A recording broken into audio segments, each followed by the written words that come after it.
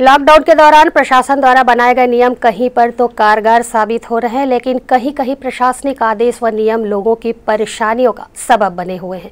Corona महामारी को नियंत्रित करने जिला प्रशासन द्वारा 24 सितंबर से 30 सितंबर तक पूर्ण लॉकडाउन की घोषणा कर दी गई है और सभी संचालित गतिविधियों को रोक दिया गया है या उन पर समय सीमा निर्धारित कर दी गई है और पेट्रोल, गैस व मेडिकल जैसी सुविधाओं के संचालन के ही आदेश दिए गए हैं।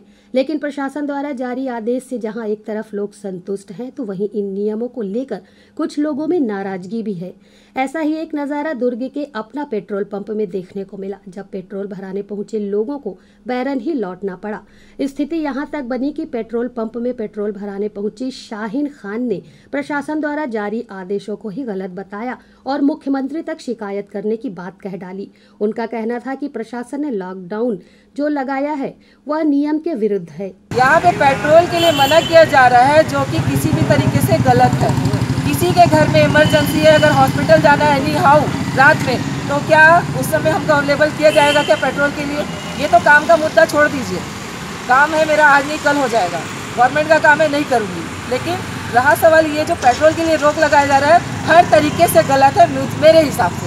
अभी आप क्या चाह रहे हैं? मैं चाह रही हूँ कि मेरे डिपार्टमेंट के लड़के को यहाँ से पेट्रोल मिलना चाहिए। नहीं मिलेगा तो मैं शाम के आज रात में मुख्यमंत्री जी के यहाँ बिल्कुल जाऊँगी। और प्रेजेंट वहीं पेट्रोल पंप के जूनियर मैनेजर रविकांत श्रीवास्तव ने बताया कि जो आदेश प्रशासन द्वारा लागू किए गए हैं उसे लेकर लोग नाराज़ हैं और पब्लिक कॉपरेट नहीं कर रही है। बहुत सी ऐसी परेशानियाँ आ रही हैं पब्लिक समझ नहीं रही है।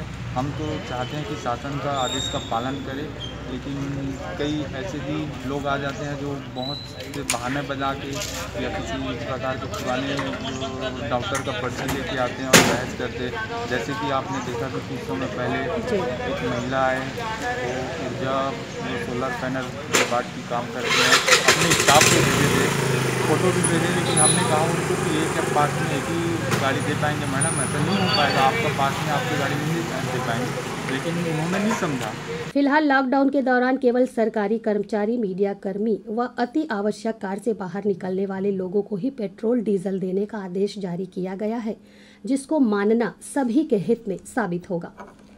ग्रैंड न्यूज़ के लिए दुर्ग से वीना दुबे की रिपोर्ट।